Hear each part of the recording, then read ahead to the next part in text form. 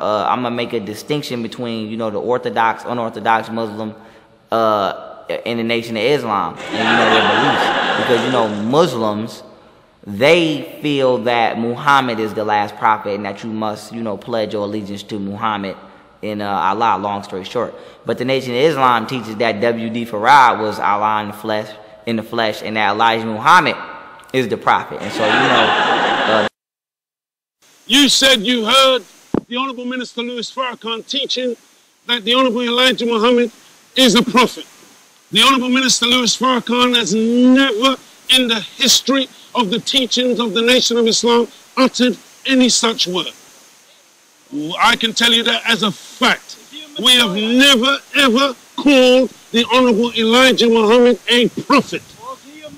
We refer to him as the messenger of Allah.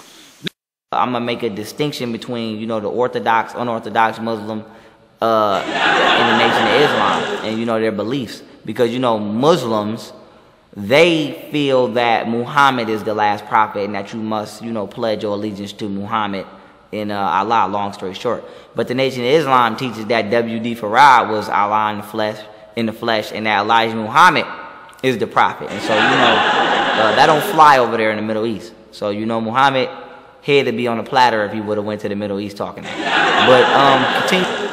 On behalf of the Muslim world, we have the Grand Sheikh of Cyprus, the Grand Sheikh Mohammed Subhi Bello, the Grand Sheikh from Egypt and the Vice President of Al-Azhar University, Sheikh Abu Al-Azaim, and the Grand Sheikh of Yemen, Sheikh Abu Ghazala, and our Sheikh from Ghana and Nigeria, Dr. Abdul Razak Tahir, who want to show their admiration, and, brother, uh, and our Sheikh Yusuf Shibli, who want to show their appreciation for the leadership of our brother, the Honorable Minister Louis Farrakhan, by recognizing him as an Imam of the Muslim world.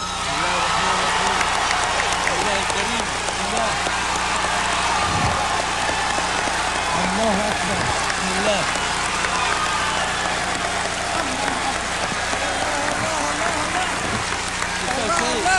Okay. Okay. No Takbir! Takbir! Subhan